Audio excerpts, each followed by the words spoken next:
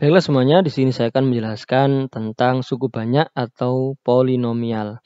Kali, kali ini tentang teorema sisa.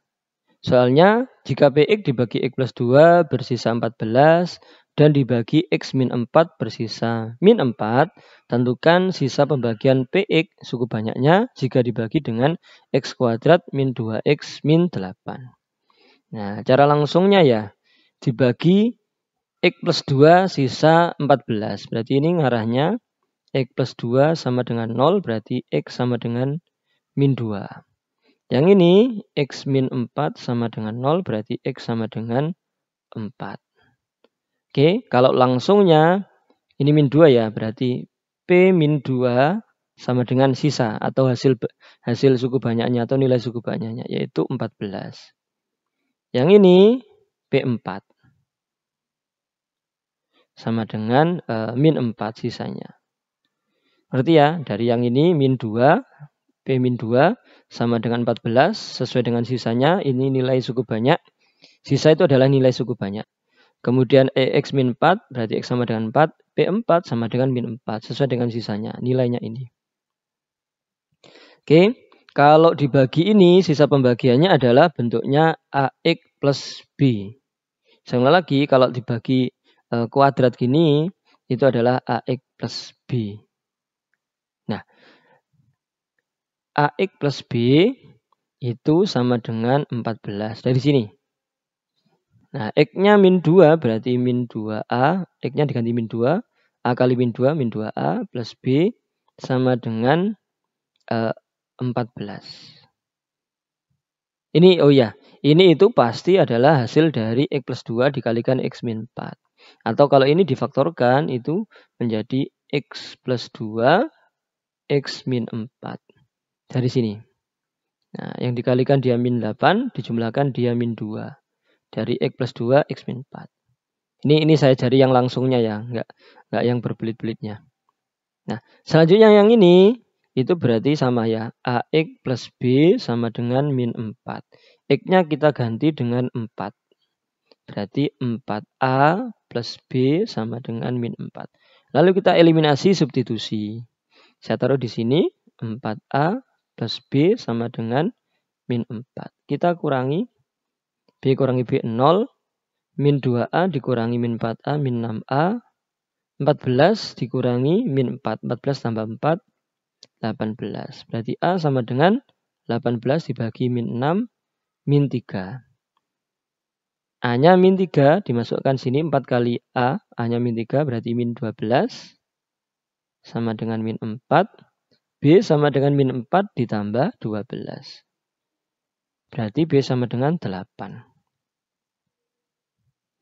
Oke, ini 12 tadi. Min 4 ditambah 12 sama dengan 8. Nah, sisanya langsung sisa pembagiannya itu adalah bentuknya ini. Sisa pembagian itu kalau X kuadrat adalah AX plus B. A-nya berapa? Min 3. X, B-nya berapa? 8. Sudah selesai. Nah, caranya cuma seperti itu. Untuk menentukan apa namanya sisa pembagian. Oke. Satu soal lagi ya, mungkin masih uh, agak bingungnya bawahnya. Saya kasih uh, penjelasan satu soal lagi. Misalkan yang ini. Biar lebih uh, paham lagi. PX dibagi X min 2 sisanya 5. Dibagi X plus 3 sisanya min 10. PX dibagi X kuadrat plus X min 6 sisanya berapa? Ini berarti X min 2 sama dengan 0. Berarti X sama dengan 2. Yang ini X plus 3 sama dengan 0. Berarti X sama dengan min 3. Nah, langsung X-nya 2 berarti ini P2 sama dengan sisanya 5. Satunya yang tak taruh di sini ya, P min 3 sisanya yaitu min 10. Oke, nah ini X kuadrat plus X min 6 itu sisanya adalah AX plus B. Nah, AX plus B. Nah, di sini AX plus B itu sama dengan 5. Kenapa? Karena X kuadrat plus X min 6 itu kalau difaktorkan pasti menjadi X min 2 dikalikan X plus 3.